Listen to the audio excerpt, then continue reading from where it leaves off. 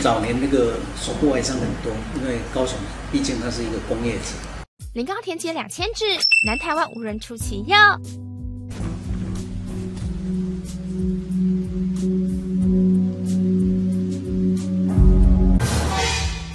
断指吗？赶快找医生接回去。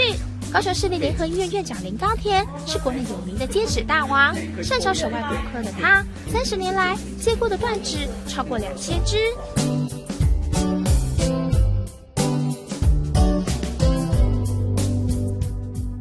但是让林高田印象最深刻的病人，却是一个五岁的小女孩。那小女孩想要喝家里的这个椰子，她算是偷喝了，所以她就拿着菜刀去砍砍那个椰子，就不小心把自己的左手大拇指给砍下来。她砍下来以后，哇，很痛啊！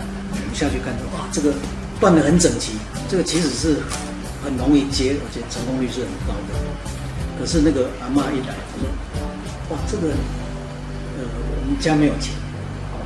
那我甚至觉得说，哎，那这个小女孩这母子对她来讲是一辈子的事情。我说，哎，假如愿意的话，我愿意免费，免费帮你接。他说，哦，要住院，不要，这个我没有那个时间。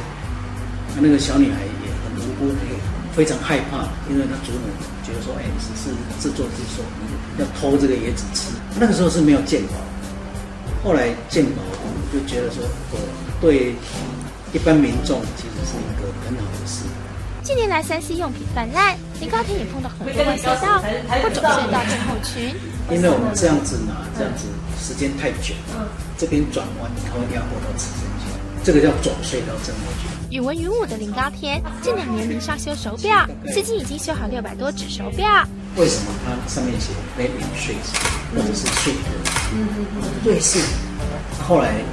就有人告诉我啊，这个不是在修钟表，那跑去中本，钟钟表材料，一支医药用的，医就是一般那个厂商卖，卖三四千块，可以在一个镊子要三四千，在那个，可是到那个中本材料，一支两百块，我就发现哎，一一模一样的东西，OK，几乎完全一样，啊，为什么？